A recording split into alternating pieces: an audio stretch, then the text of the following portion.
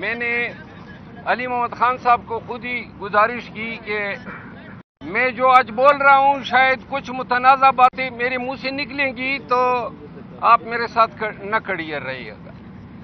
گزارش یہ ہے کہ کل بھی خان صاحب سے ملاقات کے لیے میں حاضر ہوا اور سپرنٹینڈنٹ جیل اسد بڑائی نے خود مجھے کہا فون پہ کہ جی خان صاحب آپ سے علیحدہ ملنا چاہتے ہیں تو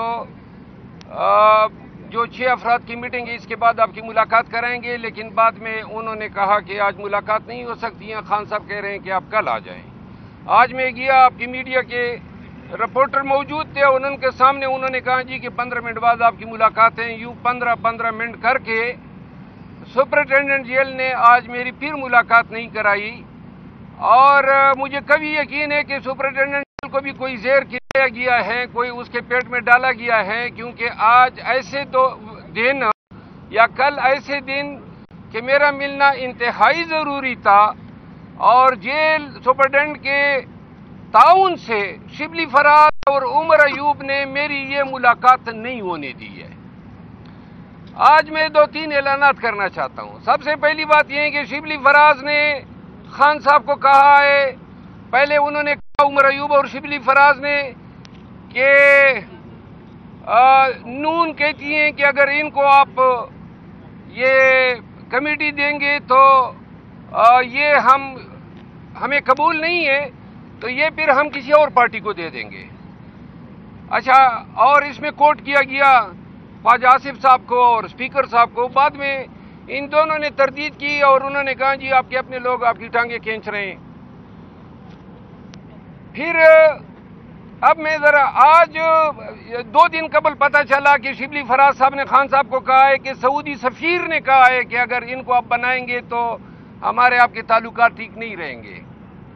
اب یہ بہت بڑی بات ہے۔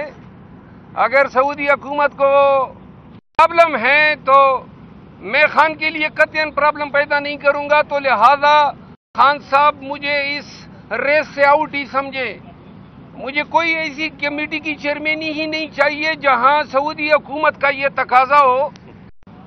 وہ کہیں کہ جناب ان کو نہ بنائیں۔ اب یہاں پہ دو تین چیزیں پی ٹی آئی کے لوگوں کو اور پاکستانیوں کو میں بتانا چاہتا ہوں۔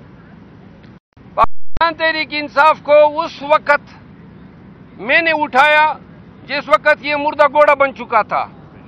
خیبر پختونخوا سے لے کر سندھ تک عوام کے اور یہ سارے چھپے ہوئے تھے۔ جو آج پارٹی کے کرتا درتا بن گئے ہیں اور بلوں میں چھپے ہوئے تھے اور اس کے بعد ہر ایک امیدوار کو لے کے اس کے حلقے میں میں گیا۔ پارٹی کے لیے سب خدمات جو خان نے مجھے تفویض کی میں نے انجام دی۔ اور جس کے بعد آٹھ فروری جب آئی تو یہ لوگ باہر نکل آئے۔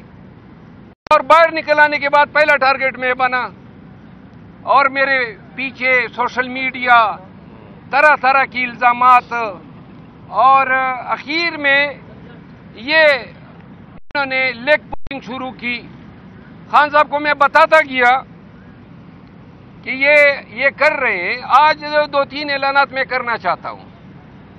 پہلی بات تو یہ ہے کہ بے توقیری اپنی ذات کی کسی صورت مجھے قبول نہیں ہے۔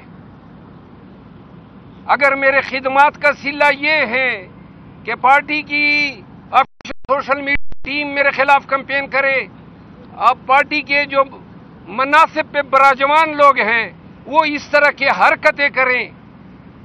پولیٹیکل کمیٹی کو خان نے اس دن بیرسٹر گور صاحب کے ذریعے یہ مسئلہ فائنل کرایا۔ تو انہوں نے کہا جی پولیٹیکل کمیٹی میں ووٹنگ کراتے ہیں، نہ مجھے، میں پولیٹیکل کمیٹی کا ممبر خان نے مجھے بنایا تھا، جبکہ یہ عمر ایوب صاحب نے بڑی اصرار کیا تھا کہ اس کو نہ بنائے۔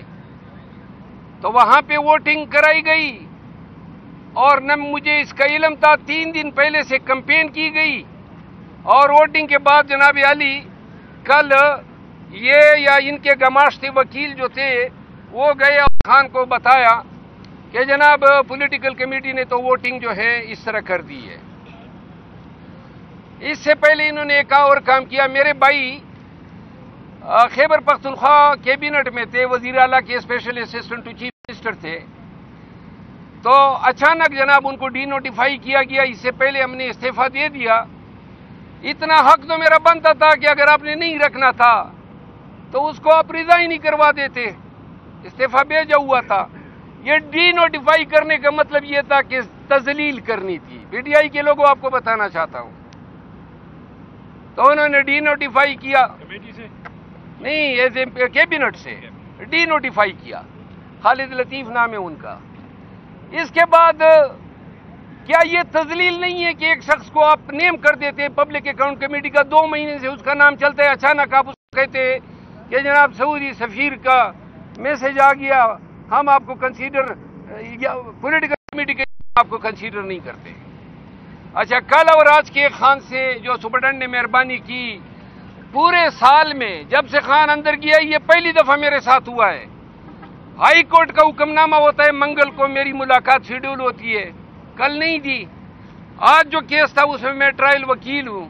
انہوں نے روکا۔ اس کا مطلب یہ ہے کہ سپرڈنٹ بھی ان بورڈ ہے۔ وہ بھی یہی چاہتے تھے کہ خان تک یہ باتیں نہ پہنچے۔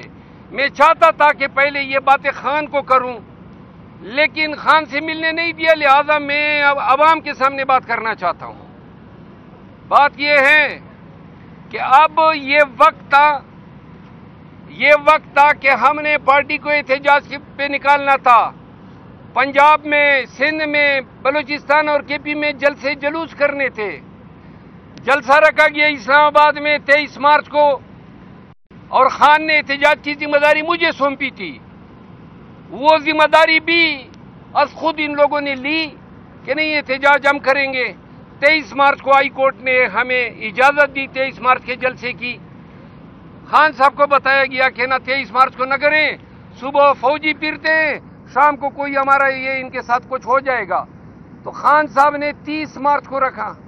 تیس مارچ کو جب جلسہ آیا تو انہوں نے کہا نہیں جی وہ سینٹ کے الیکشن ہے آپ اگلی ڈیٹ دیں۔ خان نے چھ اپریل رکھی۔ چھ اپریل کو کہا جی وہ تو ستائیسویں رمضان ہے۔ کراچی میں جلسہ رکھا گیا۔ احتجاجی جلسہ ہوگا۔ جلسہ کینسل ہو گیا۔ کہ اجازت نہیں ملی۔ لاہور میں جلسہ رکھا گیا۔ جلسہ کینسل ہو گیا۔ اجازت نہیں ملی۔ فیصل آباد میں جلسہ رکھا گیا۔ دو دفعہ تاریخ تبدیل ہوئی۔ اب اٹھارہ کی رکھی ہے۔ ہم نے پی ٹی آئی کو اور قوم کو کہا کہ عید کے فوراً بعد ہم احتجاج پہ نکلیں گے۔ کوئی احتجاج نہیں ہو رہا ہے۔ ڈرامے بازی ہو رہی ہے۔ نہ جلسے کر سکتے ہیں، نہ احتجاج کر سکتے ہیں۔ اور یہ ہماری جنگ تھی۔ خان احتجاج چاہتا ہے، میں احتجاج چاہتا ہوں۔ لیکن جو قیادت کو اب ذمہ داریاں سونپی ہے، تو لہذا اگر پارٹی مجھے بنڈن کرنا چاہتی ہے، تو میں مجھ پہ الزامات لگے، خان کی جگہ لینا چاہتا ہے۔ وہ بھی سن لیں۔ میں اگر کسی کی جگہ لینا چاہتا تو خوشامد کرتا جو یہ کرتے ہیں۔